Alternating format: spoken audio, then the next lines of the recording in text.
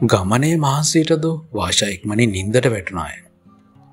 කෙල්ලට දැන් කොහොමත් මහන්සේ බඩේ දරුවෙක් සිටින අම්මා කෙනෙකුට දැනෙන ශාරීරික වේස ඇයට දැන් දැනේ.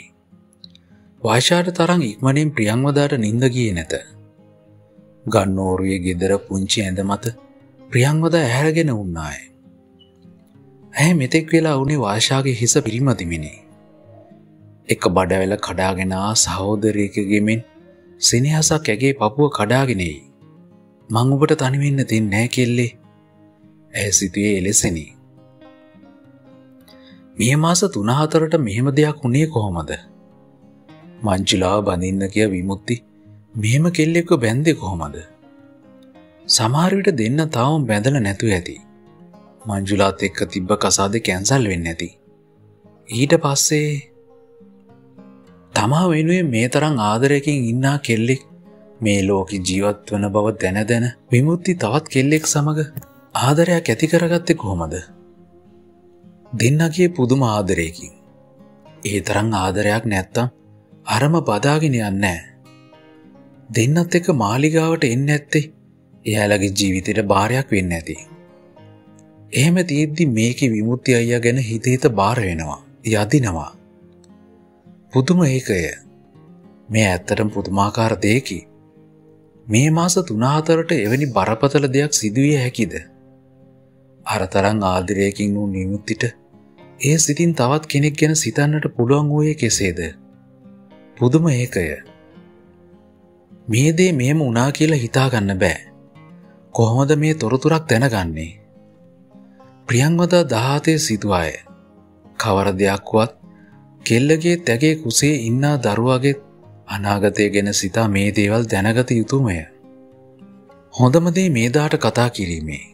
මොනවුවත් මේදා කෙල්ලට පනවගේ ආදරේ බව ඇයදනී. ගෑනු එහෙමය. කවර ප්‍රශ්නයක් තිබුණද බඩ බැඳගෙන බැදීම් රකින්නේ ගෑනුය. අන්රාධපුරයට ගියාට පස්සේ කෙල්ලට හොරෙන් මේ දක්කට කතා කරනවා. වෙන කරන්න දෙයක් නෑ. ප්‍රියංවද ඇසේ තීරණය කළාය. මේ කුසේ නිදන්නේ මොරගඩ පවුල්ලෙ දරුවෙක් බව විමුත්තක ලෙයින් හැදුණු දරුවෙක් බව ඔවුන්ගෙන් එක්කෙනෙක්වත් දැනගත යුතුය. එහෙම කතා කලාට පස්සේ මේ දක් අය සක්විති අය එයි කෙල්ලව හොයාගෙන ඒත් කමක් නෑ. විමුක්තිට ඇත්තරම සිදුවයේ කුමක්ද. හෝ වර්ෂාට බොරුවට ආදරේ කළයයි ප්‍රියංගදාට පවා සිතන්නට අමාරුය. එය පුදුමාකාර ආදරයකි. එහෙම ආදරයක් මාස තුනහතරෙන් නැතිවී ඇයිද. මේ ලෝකයේ තමා ආදරය කරන කෙනා සිටියදී අරම දෙයක් සිදුවේ හැකිද. ඒ මොනවා වනත් අද විමුත්ති අය අර කෙල්ලත් එක්ක ගියා. ලස්සන කෙල්ලෙක් කෙල්ලගේම වයසේ. කෙල්ලත් පුදුම ආදරයකි විමුති අයගේ ඇගේ එල්ලි ලගේ. ඇඟ පපුුව රත්වන්නේ ඒ ගියයුරු සිහිවෙද්දීය. ප්‍රියංවදා යළිත් වරක් වම්මලයට නිදා සිටින වර්ෂා දෙස බැලුවාය. ගැබාසල්ට කොට්ටයක් තබාගෙන කෙල්ල නිදාගන්නේ පවා පරිස්සමිනි. ඇය ඒ තරන් ඒ ගැබ රකින්නේ ඒ ගැබේ ඉන්නේ දරයෙක්ම පමණක් නොවන නිසාය. ඒ නිදන්නේ ඇගේ අහිංසක ආදරේ සංකේතය නිසාය. ලෝකපාලන දෙයෙක් ඇත්නම් මේ දුක බැලිය යුතුය.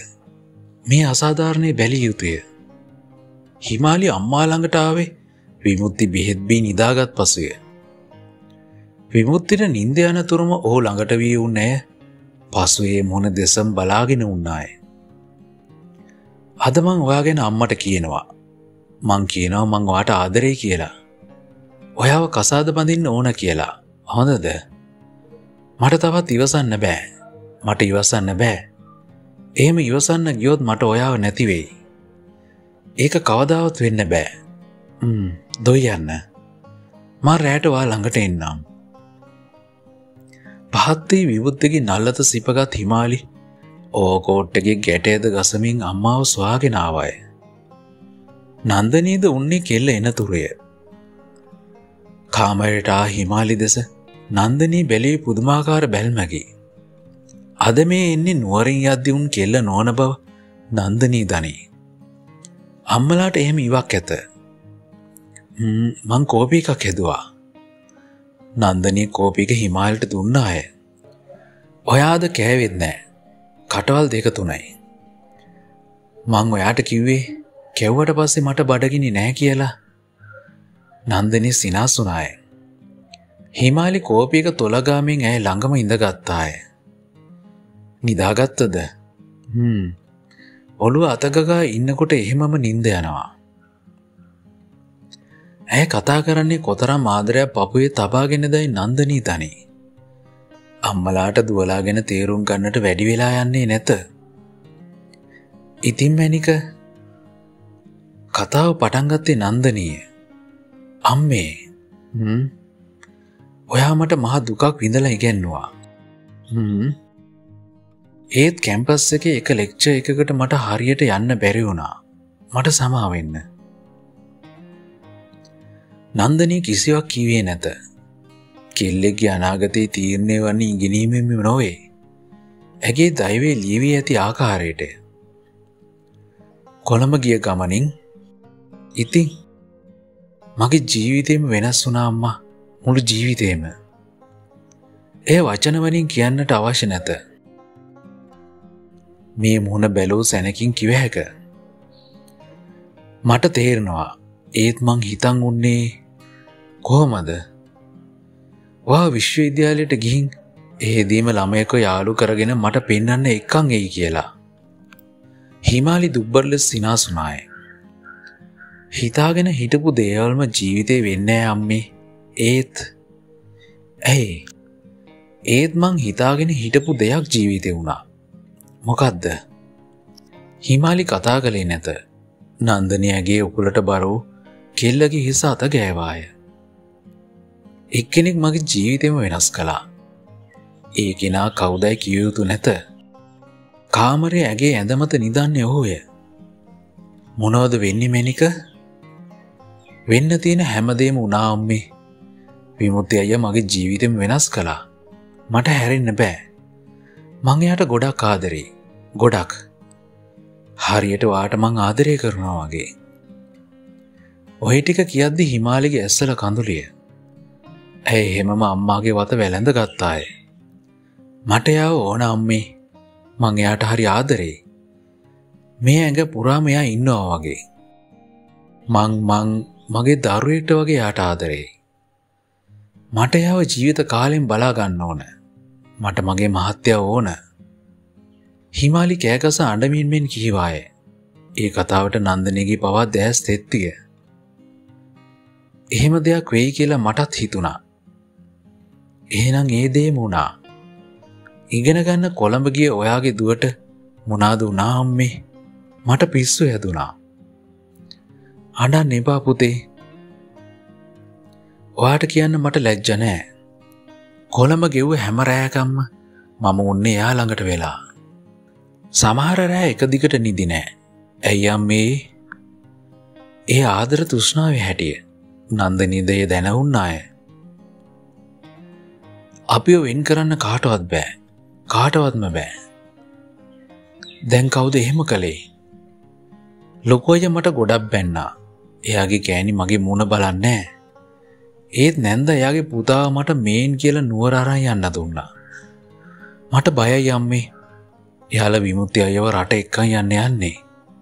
එහෙම ඔන්නොත් වගේ චූටි මැනිකට පිස්සු හැදෙයි. මට පිස්සු හැදෙයි. කෙල්ල මේ තරම් බරපදල් ලෙස විමුත්තිට ආදරය කරතයි නන්දනී දැනවුන්නේ නැත. ඒත් දැන් ඇය ඒ වටහා ගත්තාය.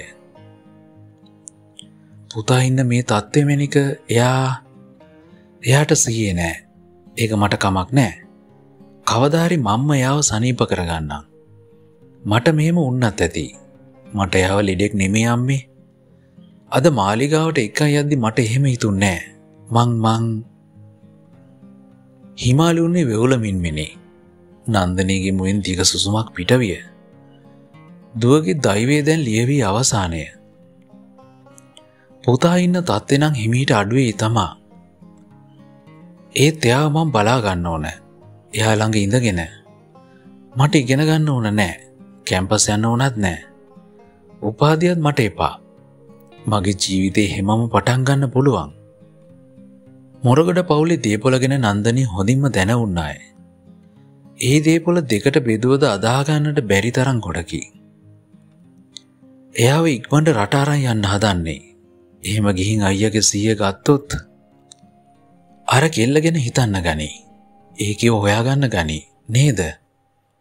ඔවු ඒක ලස්සන කෙල්ලෙක් මං ෆොටෝ එකකින් දැක්කා මෙයා එකට පැලෙන්න ආදරේ. අපි කොහොමද නවත්තන්නේ මැනික හිමාලි සෑහෙන වෙලාවක් අම්මා දෙස බලාගෙන උන්නාය. ඒක ඔයාට කරන්න පුළුවන්. මට මන් නාසිවෙන් නෑ අම්මේ මංවාට පොරොන්දු වෙනවා. මං එහෙම හිතනවද මැනික මට එකපාරක් මේ කොල්ලව අයිති කරලා දෙන්න. හිමාලි වෙවුලමින්මෙන් කීවාය. වැඩි කලක් නෑ එයාල ඉක්මන්ට අයව රට එක්ක යයි. ඊට කලින් ඊට කලින් මොනාද කරන්නේ. නැන්දට කියන්න මං මේ සීය නැති කොල්ලව බාරගන්න කැමතියි කියලා. ඒක ඔයා කියන්න එක පාරක් මට අයවා අයිති කරලා දෙන්න. හිමාලි දෑත් එක්කොට අම්මාට වඳමින්මෙන් කීවාය. නන්දනී කෙල්ල දෙස බලාගෙනම උන්නාය. මට අයව කසාද බඳන්න ඕන ඉක්මනටම. මං මං පුතේ. ඔයාවිත් නැන්ද එක කතා කරන්න? මට ඒක කරන්න බෑඅම්මේ හිමාලිකිවේ අඩමිනේ නන්දනී හෙමම හිමාලය වැළඳ ගත්තාය. මට ඒක කරලා දෙන්න අම්මේ. ඒ ඇඩුම දරාගන්නට හැකි ඇඩුමක් නොවේ. මං එන්නම්. මං කොහමර එක කරන්නම් මැනික නන්දනී කෙල්ලගේ හිස සිපගෙන කීවාය. මගේ අම්මා බුදු එන්න ඕන හිමාලිකිවේ පමණකි ඇගේ හදවත ඇතුලාන්තයෙන් ඇයි පුදුමාකාර සතුරක් වින්දාය. මං වාගේ පපුේ එදා ඉඳල අලු තාදර කතාවක් ලියනවා. වාට පරණ කතා මතකත් නැති වෙලයයි. හිමාලෙ විමුත්තගේ පපුුව අතකා කීවාය. පසු ඇය එහෙමම ඒ පපුෝට හිස තබා ගත්තාය. හදවතට දැනෙන සැනසීම පුදුමාකාරය පුදුමාකාරය මන්තරං වාට ආදරය කෙනෙක් මේ ලෝකෙ නෑ. නෑමයි ඔය අර කෙල්ලගෙන හිතන්න හිතන්නවත් එපා. මංවාට ආස හැම සැපක්ම දෙන්නම්. ගෑනයට පිරිමේට දෙන්න බැරි තරන් සැපත් දෙන්නම්. සත්තයි සුදුරත්තරන් හිතේ වූ සතුර වැඩිකමට හිමාල්ට ඇඩුනි ඇ ඇඩුවේ විමුත්ත කෙලායි බඳාගෙන ඉබගෙනය අනේවාව ලැබුණොත් මට කොච්චර සතුරක් දෙනේද. ඒ සතුර ගැන මවාගන්නට පවා අමාරුය. ජීවිතය ඉදිනට පසු උදාවන හැම රැයක්ම ගතවෙන්නේ මේ ලෙසනම් ජීවිතය කොතරම් වාසනාවන්තද. මංවාව කොළඹ තියන්නේ. අපි නුවරින් අලුතෙන් ගයක් ගමු. හන්තානි ශෝක් ගෙවල් තියෙනවා. ඒ ගෙදරකට වෙලා මං වා ළඟම ඉදං ඔයාව පලාගන්නවා. මුළු ගතම ගිනිගෙනමින් උණුසුම් වීගෙන එත්ති හිමාලි ඇඳගෙනවුන් රෑඳුම හොරේස මුදනින් පන්නා නිරුවත් පියවරු හෝගේ බාහෝට තද කරගත්තාය. තුනී පොදයක් මහනුවරට උඩින් හමාගේ ඒ රාත්‍රියම හිමාලි ගත කළේ එසේ ඕගේ තුරුල්ලේය.